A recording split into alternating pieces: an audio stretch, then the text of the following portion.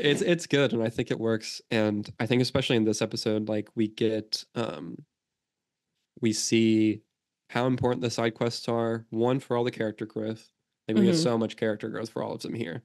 Um Sokka, of course, and his sexism and like learning better.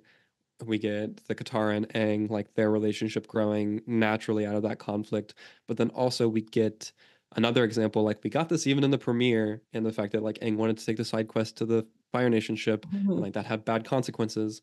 And Yeah. like here, he sees again that like him wanting to just do a fun little side quest to run like ride the elephant Mhm. koi had very, very real consequences for And like, all of yeah, these people. ignoring his avatar responsibilities will only Like- make things worse. Yeah, like and he sees that and you can see it in him that he really starts to feel that. Like when he's I mean that's why he dives back into the water and uses the Unagi to Mhm. save the day is because he's like, well, I have to try to do something. Cuz like Mhm. it's also really like heartbreaking whenever Katara is like the best thing for us to do is leave. Like the best thing we can do is get out of here. Like and he's like, but these people, I need to help. And so it's good that he's like learning from that. Um and like it just makes those side quests they're not just random side quests they're very integral to the They're growth. important. They're not And- filler episodes. Some people would call that a filler episode. it's Which so not again, the door. so not yeah it's great i also Get out of here. i love in this episode how it's one of the first ex- it's like the first example except for the southern water tribe but it's really the first rest of the world example of seeing how yes. the world has been affected by the war because like at first the reason they're tied up at first is because they're like we don't accept visitors here because there's a war going on that we've tried our best to stay out of Stay out like, of. we do not get involved in this go away like Yeah. they don't want anything to do with it and that's you can totally understand how that would happen like Mhm. where they're like well we just have to look after ourselves and our own and we can't really worry about anything else because we don't want to get invaded by the fire nation like we'd Mhm. rather just deal with our little island and like stay here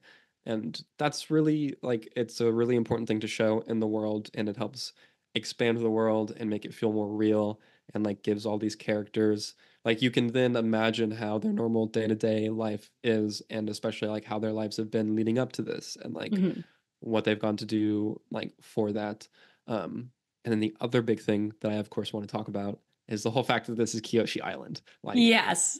oh it's We so get a hint into this so early. Yeah, Yeah. which is amazing like one they have her design down because obviously all of the kyoshi warriors are taking from her Modeled design her, yeah. which is a fantastic design it's so good it's so iconic um and we see the giant statue of her which we don't really know yet that she's like seven feet tall actually which is funny oh yeah, I um, forgot about that point. She is. like- yeah because she, she's huge that's like one of the main Mhm. things that she's an absolute giant which i love um Love giant women. and we like don't get that we don't we don't get that information yet in this episode Um, but we do still like you get some answers but mostly more questions about like what like how what did she do to inspire like a set of warrior women to like follow in her to be named the warriors of Yeah. Kyoshi and also she has an island named after her and like how was she in life and things like that and I, I so it's a, again another example of like a ton of great world and like lore building that's also done through character stuff because like you're able to ground it in Suki and in mhm. her explaining like the reverence that they have for like Kyoshi and like she explains the details in the costume and like what they're for and like things like that and so you really build up this identity and this like idol isn't exactly the best word but sort of like I Yeah. like how they idolize Kyoshi and, and things like that and it makes it really interesting to where you're like oh I want to know more about her and then it's also cool because you're like that's one of Aang's past lives like Yeah. that like will inform him in the future and so that's super interesting um so yeah like i love all of that and the fact that we get that in episode four is wild like i It's almost like crazy. Yeah. i remember it now but like one of the the first times i went to rewatch the show i was like i can't believe that this episode happens this early on like yeah. it feels like it would be a later down the line thing but they immediately establish They get into the meat so Kyoshi. quickly. yeah which is i mean it's impressive But to it think never about the, feels quick. no Yeah. It never it's because it never feels rushed because it all feel it's again I feel like because it's all just so rooted in the characters and their journey that you're like yeah this feels like a natural like thing and a Like, natural works, discovery yeah. like as you go through it. It's also crazy to think about the fact that we now have like both Roku and Kyoshi established already, Mhm. and we're like four episodes in. Four episodes in, we already have two Which past avatars.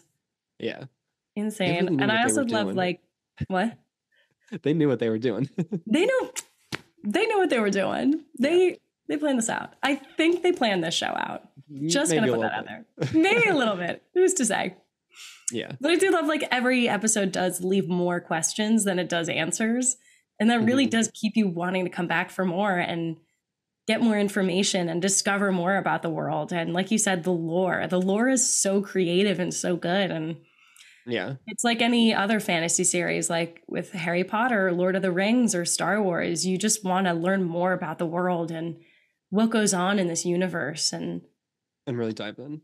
and really dive in. And what's really sad about a lot of those series is it does get a bit convoluted. Yeah, and this keeps it. They keep it real clean here. They keep it real clean, which is hard to do. How? Yeah.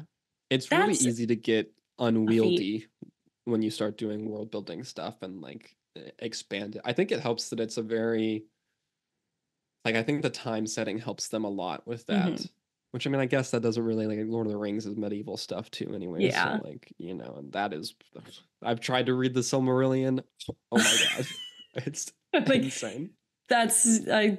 You gotta spend time on that. Yeah, Like it's um, this is digestible. Hey, Aspect listener. Enjoying the show? Then be sure to subscribe here on the Aspect so you never miss an episode.